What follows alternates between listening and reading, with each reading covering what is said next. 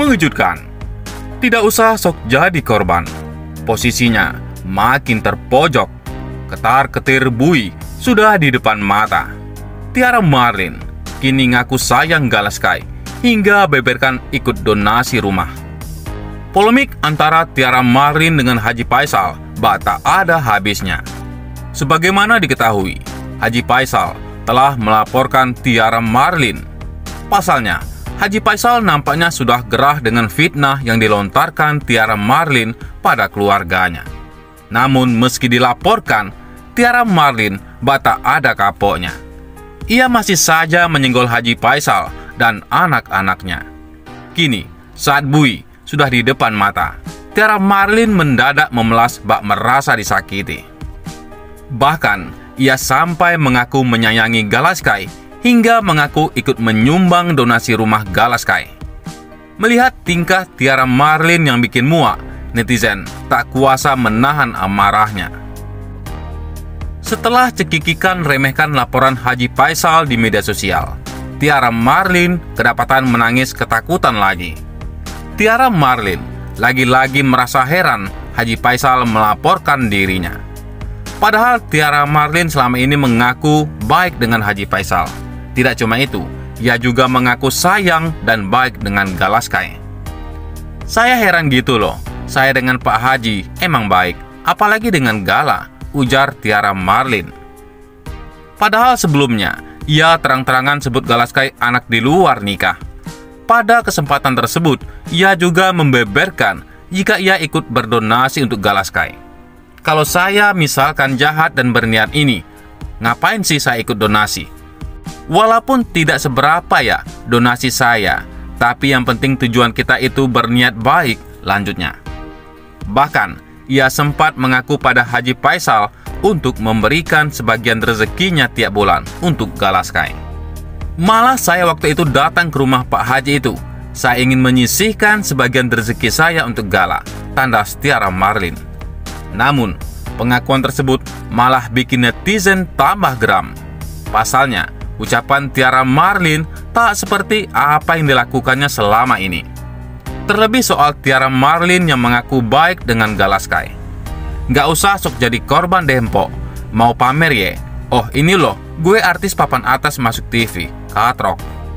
Kalau kamu sayang sama Gala, kenapa tega ngefitnah orang tuanya Gala? Kamu bakal dibenci Gala kelak kalau Gala lihat video kamu. Jejak digital masih ada kok, Nek. Waktu nenek bilang Vanessa hamil di luar nikah. Gak usah nyisihkan buat Gala deh. Sebaiknya kasih ke yang lain aja. Gala udah banyak yang ngasih dari orang-orang yang benar-benar tulus dan sayang sama Gala. Lu yang jahat selalu nyinyir sama orang, kenapa sih lu yang kayak disakiti Tiara? Gak tahu diri, kata netizen. Sebelumnya, Tiara Marlin dipolisikan Haji Faisal terkait kasus dugaan pencemaran nama baik. Pedangdut ini bahkan sempat menangis gara-gara laporan dari ayah Pujianti Utami alias Puji itu. Padahal sebelumnya Tiara sempat tertawa saat mengetahui bahwa dirinya dilaporkan oleh Haji Faisal. Kabar terbaru, Tiara Marlin mengaku sudah minta pada pihak Haji Faisal. Namun pihak Haji Faisal disebut tak memberi respon Tiara bahkan menyinggung sang pencipta yang maha pemaaf.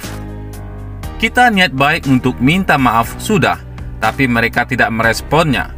Mau apa lagi coba? Allah aja maha pemaaf, kenapa manusia melebihi segalanya? Ujar Tiara Marlin. Postingan Tiara Marlin itu menjadi bahasan netizen di akun gosip. Sebagian besar netizen menyuruhkan agar Tiara Marlin dipenjara, agar kapok telah menghina keluarga Haji Faisal ada juga netizen yang menyentil Tiara playing victim. Pokoknya, penjara aja lah, kata akun Anas. Ya kali kalau dia maafin, terus bacotnya masih menggonggong, terus kayak anjing, ya percuma, sambung akun embun. Halah, playing victim, tambah akun Andrian. Sudah dimaafkan Mbak Tiara, tapi proses hukum harus tetap berjalan dong, sportif dong, kata akun yang lain. Kemarin dikasih waktu minta maaf, malah melongos salah sendiri. Allah pun tidak tidur mbak, Komentar akun Anissa. Maaf, boleh, tapi hukum jalan terus. Yuk, bisa yuk, lebaran pakai baju oren. Imbuh akun Tria. Seperti diketahui, Haji Faisal telah menyampaikan akan melayangkan somasi terhadap pihak yang menyebut Puji sebagai pelakor. Tiara, rupanya pernah menuding Puji merebut Tarik Halilintar dari Chandrika Cika. Dia kalau nggak ada kakaknya, nggak ada apa-apanya si Tarik, kata Tiara beberapa waktu yang lalu. Nggak mikir juga dia ya, makanya hati-hati yang punya pasangan, nanti ada-ada pelakor, katanya. Di lain sisi, kabar mengejutkan datang dari pengacara ternama Hotman Paris. Dikarenakan Hotman Paris dituduh membuat konten pornografi di akun sosial medianya. Pelaporan tersebut dilakukan oleh Farhad Abbas pertama kalinya di tahun 2019. Kemudian Rasman Arif Nasution ikut melaporkan kasus tersebut. Polda Metro Jaya membenarkan kalau sudah menerima laporan dari Hotman Paris. Kini, Tiara Marlin yang sempat heboh dengan Hotman Paris membuat caption dukungan. Karena dulu, Hotman Paris menolak menyentuh tubuh Tiara Marlin. Pada Rabu, 6 April 2022. Semangat abangku, pengacara handal abaikan orang yang iri, tulisnya. Disebutkan kalau pelapor Hotman Paris iri dengan dikelilingi wanita. Sama kita itu mereka iri aja karena di samping Bang Hotman selalu ada cewek-cewek cantik dan seksi, tulisnya. Para pengacara tersebut dianggap sedang pansos.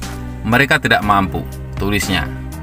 Ia heran dengan pengacara tersebut selalu usil dengan kehidupannya. Jelas-jelas orang itu lagi pansos sama pengacara handal. Kok usil ya sama kehidupan orang, aneh, tulisnya. Aksi Hotman Paris yang memeluk dan joget dengan wanita cantik membuat sejumlah orang geram. Gegara sering mengumbar foto mesra dengan banyak wanita. Pengecara papan atas Indonesia itu dilaporkan ke pihak berwajib. Hotman Paris dilaporkan ke Polda Metro Jaya pada Sabtu 2 April 2022. Ia dilaporkan atas unggahan di media sosial yang diduga bermuatan asusila. Pengacara Rasman Arif Nasution yang ikut melaporkan kasus itu mengatakan bahwa konten yang sering diunggah Hotman Paris lewat akun media sosial Hotman Paris Official semakin membuat resah. Orang gerah sekarang, makin gerah dan fotonya makin menjadi-jadi, ujar Rasman. Terpisah, Polda Metro Jaya membenarkan sudah menerima laporan terhadap Hotman Paris. Ya, laporannya diterima, ujar Kepala Bidang Humas Polda Metro Jaya, Komisaris Besar Endra Zulpan di stasiun Pasar Senen, Jakarta Pusat, minggu kemarin. Bagaimana menurut pendapat Anda?